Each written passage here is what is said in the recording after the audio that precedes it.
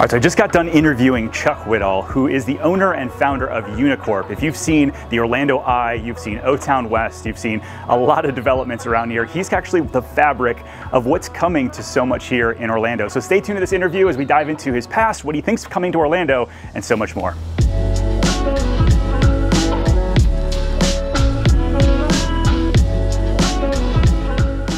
So Chuck, thanks for joining us. Absolutely, good to be here. Man, so I was going through research and I was looking back through articles and people you've worked with in the past, and one thing that popped up over and over again was Chuck closes deals. Like you start something, and that's what you're known for. What does that make you? How does that make you feel?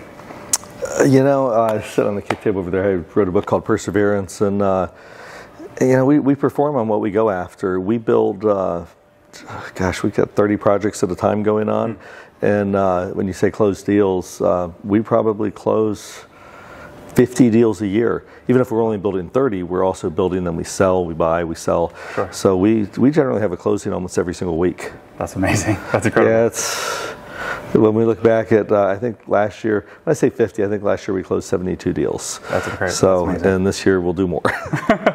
With everything kind of going on, like people talk recession, people talk ups and downs. It's a very weird market, and you've been in the game for a long time. How does this feel with what's going on right now? Well, the one thing I've learned is you always play to the market. Mm-hmm. Uh, there's always a market. It's a good market, a bad market, but there's people always doing business in the market.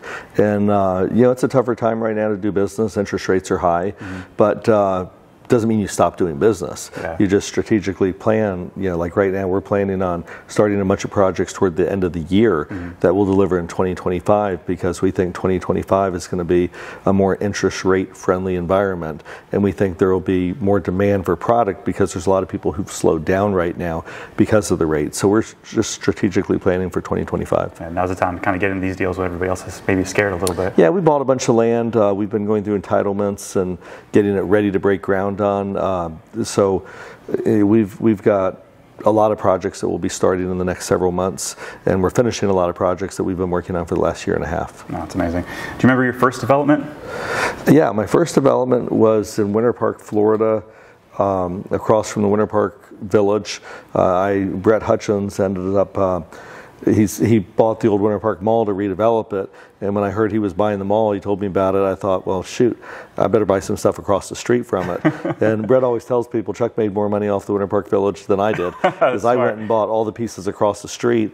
And my first one I did was a small 8,500 square foot development with Starbucks, Cingular Wireless, 1 800 Flowers, and we kept it for gosh, a decade and a half before we sold it. Yeah. And um, uh, and I did an Eckerd drugstore across the street at the same time, and you know those were my first retail developments. I started as a, I had a stucco drywall company before that, uh, a home building company before that, and a stucco drywall company before that.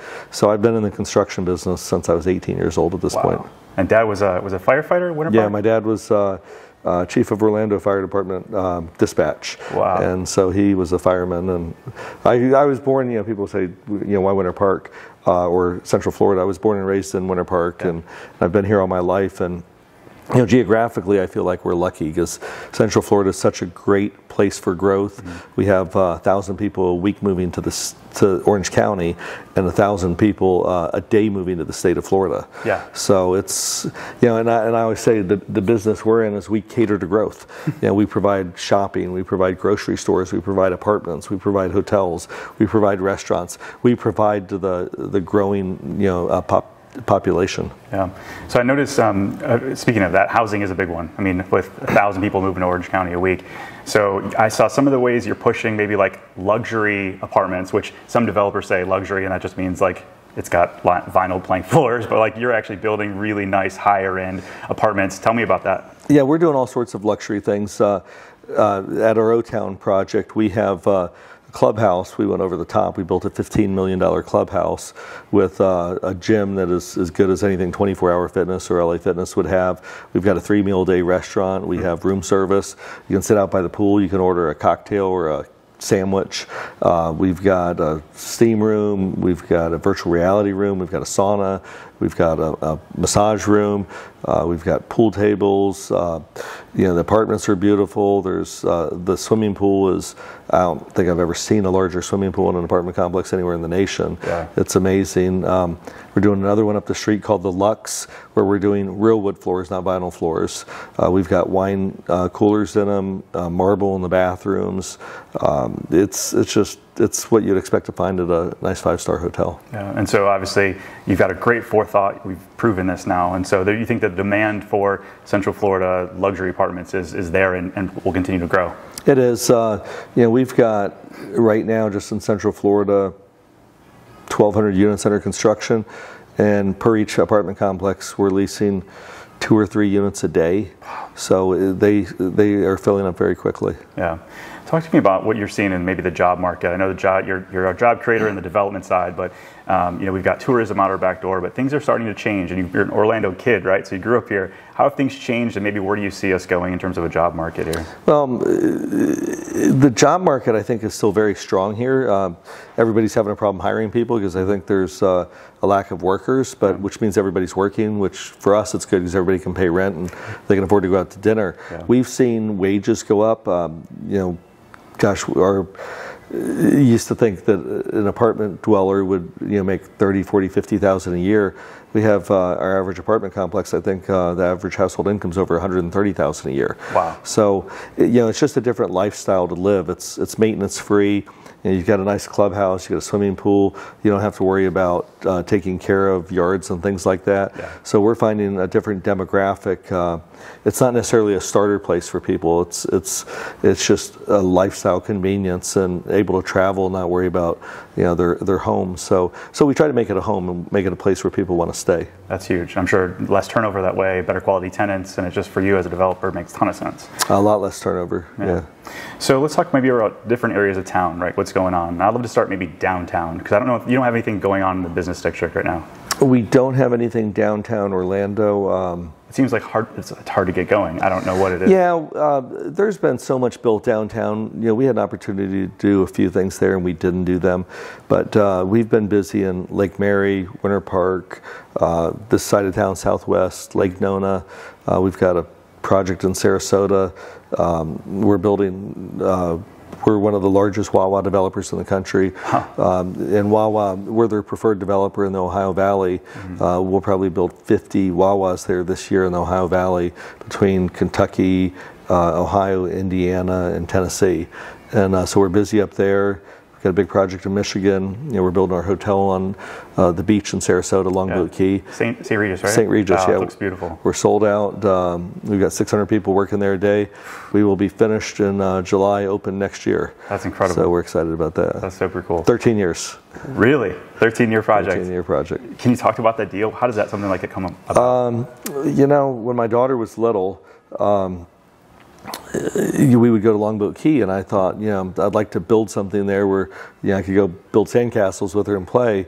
And uh, tried to buy one piece of property. Somebody else bought it. I wasn't able to get it. And uh, then the Colony, which was the first condo hotel in the state of Florida, um, closed.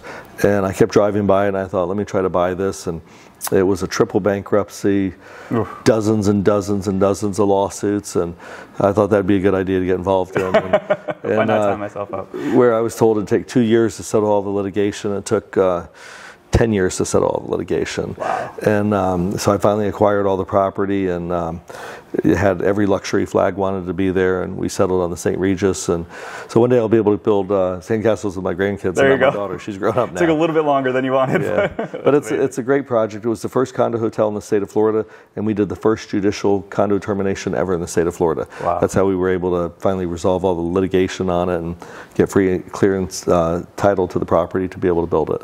That's so exciting. we're seventy percent done with it right now. That's so exciting. Congratulations. Thank you. So Icon Park and iDrive, there's a lot of stuff coming with Epic Universe, and now I saw the W Hotel got announced, and then the tallest tallest hotel in Orlando is going to be over there. It seems like they're seeing a bit of resurgence. What do you think about that tourism corridor and what's going on? You know, um, when I bought Mercado, uh, Mercado was one of the first outdoor shopping malls in the country, and uh, it went into failure. Gosh, 2005, I think I bought it. Um, it's hard to believe it's been almost 20 years, but. Uh, it went into bankruptcy, and I bought it from the bank, and everybody thought, oh, you're going to rehab it. And I said, no, we're going to bulldoze it. but you know, we had 20 acres right on International Drive. Yeah. And International Drive at the time, I don't know how long you've been around, but it was in decline. There were, you know, kids driving cars up and down the street, police issues down there, and stuff like that. And uh, I just thought it was a good opportunity. And so, um, you know, we came up with the idea to put the wheel there, Mm-hmm. and uh, so we did, um, you know, the the big Ferris wheel and made an entertainment complex, and it really did rebirth iDrive. Yeah. It just changed iDrive completely, and and then Universal comes in uh, years later. Obviously, now they're under construction and new hotels, and it's just changed uh, the whole area. Yeah. So it's been pretty cool. Yeah, it's really cool. I, I remember I've, been, I've only lived here for seven years, but before that, it was like I'd come here for conferences, and people were like, "You don't really want to walk too far up that road," you know, like because it was. And now it's it's packed. There's every Yeah. weekend. There's just tons of people there, and I feel like that's maybe what we need a little bit more of is that outdoor lifestyle. And I feel like that's what you do really well. They're not strip malls. They're like outdoor spaces that people can live, work, play. And, and that's what we're doing. We're building one in uh, Fort Myers, uh, Estero. We're building a 100 acre outdoor entertainment lifestyle center where we're going to have an outdoor roller rink.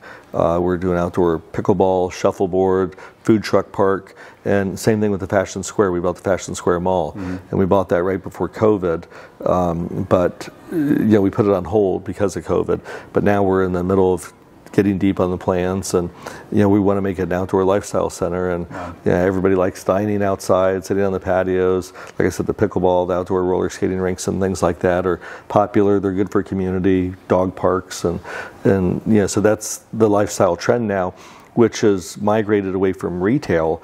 You know, the retail we do is, uh, I always say, you, you leave with a haircut or you leave with a full belly, or you, you know, uh, where people go, they drink, they eat, they get their hair done, they exercise. They're not generally walking out with a bag of goods. Sure. And you know, that's all taken care of for the most part today on online, Online. and uh, you know the the malls, the luxury brands are all doing well, like at Millenia Mall and things like that. So, uh, but the smaller um, the retail stores just are not you know flourishing like they used to be. Yeah. Let's go maybe a, a mindset shift if we could around around COVID. So COVID happens, you've got all these developments, you're retail heavy, you got all this kind of stuff. What is what is that what's Chuck thinking through 2020 like at this point? I mean, how do you make it through and not only make it through but you're thriving. Well, uh, you know, at the time when we got shut down and everybody got shut down, you know, I realized how devastating it was going to be to my tenants. Uh, luckily, we made a couple big sales months before that happened. We sold a few hundred million dollars worth of property, and you know, we were prepared um, to go through a storm.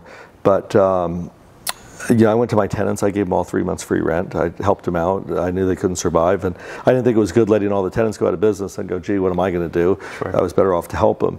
And uh, you know, the mayor appointed me chairman of the reopening committee, and so I was the chairman over, gosh, Disney, Universal, SeaWorld, Advent Health, all these big companies Yeah. that we were doing these big you know Zoom calls with, and um, you know we made the decision uh, collectively as a board to reopen business in Central Florida, which was, as we look back in time, was absolutely the right thing to do because all the the states and counties that stayed closed did not have any less cases than we did. We just happened to be open and our businesses didn't go broke and we were able to survive. Um, so, you know, COVID really didn't affect us that much. Um, you know, I, I was bothered by the lack of, uh, you know, like they use the term social distancing. We never should have even used the term social distancing. It's a negative term in itself. But, um, you know, it, it was disruptive that it desocialized people. But uh, as far as business, you know, I don't think I lost any tenants. I don't think anybody went out of business over it. Everybody, uh, you know, we helped them out and they were able to survive. And, you know, people wanted to go on living. And, you know, I, I remember, you know, going to several different engagements where people would say this is the new norm. And I would always say, no, this isn't the new norm. It's the temporary abnorm. You know, people don't want to live like that. People want to socialize. Like we just talked about the lifestyle centers. People want to get together. They want to go out places. They want to do things. They want to socialize. And, and um, so I felt comfortable that we would come back to where we are today again. Yeah, that makes total sense. So, what's next for Orlando? Do you think? I mean, you've seen a big change, I'm sure. What, where do you see us going as a region? Well, you know, Orlando is uh, um, is going to become much more sophisticated. I think, you know, with um, the Nobu Hotel got announced, Yeah. and um, and you mentioned the W. Well, you know, we're doing the Tao Hotel, and uh, we're doing the Tao Restaurant, and we have some other parts of O Town that we haven't announced yet that are equally as sexy, Hmm. uh, times two or three more coming in that will come, you know, be announced soon. Um, I think like with what we're doing over there at O Town with the Tao Hotel, it's a sophisticated experience. It's different than downtown. Like my daughter will go downtown and and um, and and the downtown is. Um, what we're creating is uh, just a more sophisticated experience, Yeah. and we're going to have some great restaurants, and that's what we've lacked in Central Florida is is really great restaurants. We've had great chains, mm-hmm. you know, Yard House. I've built a few of those. They're great. you know, we've got different restaurants here, Eddie V's, which is a wonderful restaurant. But these unique restaurants that you find in New York and Chicago and LA, you know, we've lacked those and we're getting them now. And I think it's going to change the the face of Central Florida. It's going to change the conventioner. We think our Tao Hotel is going to play very well to the conventioners. We think the restaurant will. And uh, it, it will just offer a more adult experience and not just Disney. Know, Yeah. we're not just Disney. We're not just Universal. Yeah, let's You know, it's level up a little bit. Yeah, it's a great place to go, and uh, and it's a great place to live too. Of course, yeah. Two more questions for you. So, um, I saw that you were talking about maybe adding like a, a Vegas style residency show at one time. You had an idea to do this. You think that's something that we're maybe going into or have that I, I would like I would like to see us do that right behind the wheel. I was trying to acquire the property. I was getting close on it.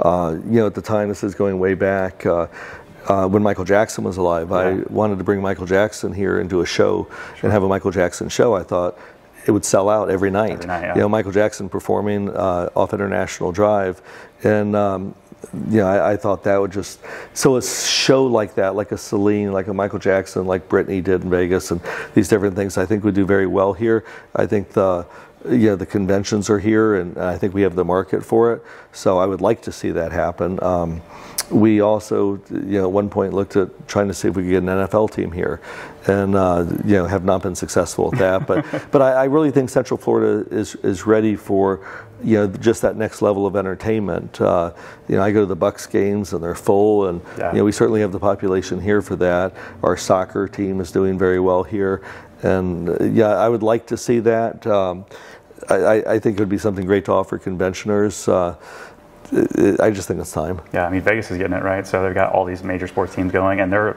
a transient kind of area. Yeah. we're way more stable and Sure. you know with with both of them. I think we've got a massive opportunity. Last question for you. So developer, philanthropist, billionaire, father. What does Chuck want to be known for when it's all said and done? Um, you know, I do what I do because I like to do it. I love doing what I do. And I love giving back to the community.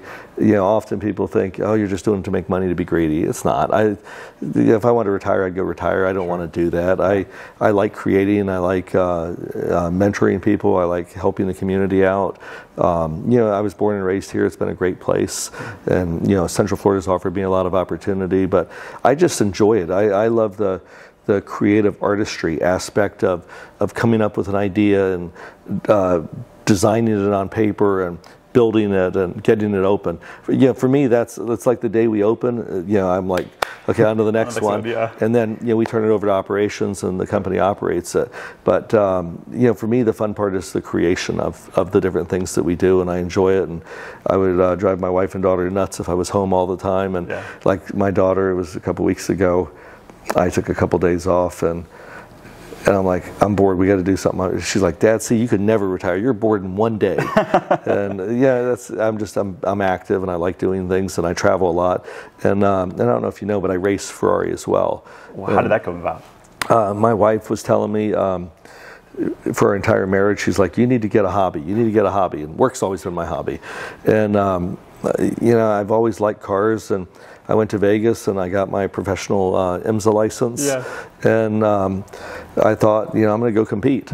And uh, so I started. I was going to race with Lamborghini, and Ferrari said, "Hey, we'd like you to come race with us." And I raced my first race in Atlanta, which I'm actually racing in Atlanta in two weeks, and um, I finished top ten in my first race. And Congrats. and I thought this is fun. Yeah. My wife's like, "Why did you have to? Yeah, I tell you, you get a hobby. Why do you have to get a hobby racing cars?" And Some um, people golf. I race Ferraris. You know. yeah, and uh, I uh, won Indianapolis last year, the first race of the season this year in Homestead. Uh, I placed third on day one and second on day two, and I came out of uh, the first race being the points leader for Ferrari, and right now I'm number three because I had a bad weekend last weekend. My car wasn't performing correctly, but uh, I just raced last weekend in Austin, and um, I'm racing. 10 different countries this year. Not 10 different countries, 10 different races, uh, half of them in the US, and then I'm racing Mugello, I'm racing Montreal, uh, and I'm racing, uh, where else? Uh, I'm racing um, Le Mans in France, and I'm racing um, Spa, Belgium. Oh man! So I'm gonna have to come out and watch one day. That sounds awesome. It's a lot of fun. Yeah. I bring some of my friends out sometime, and they always say they have a blast. Oh, and, my gosh. I mean, yeah, because I get them in the pits, let them sit in the race car, and you know, I have a full pit crew. So it's completely um, diametrically opposed to what I do every day. I'm building buildings, doing architects, engineers, and all that stuff, and then. Uh, when I go to race, we usually get there on a Wednesday and leave Sunday, and Wednesday, Thursday, Friday practice, race Saturday, race Sunday, and you know, getting a whole pit crew, being around cars, being helmeted up, strapped in a car, and doing 180 miles an hour down the straightaway. So it's it's a, it's a fun thing to Yeah, I do. It's a great imagine. hobby. Oh, amazing. Chuck, thanks so much. I appreciate you. Thanks, it was a pleasure. Thank you.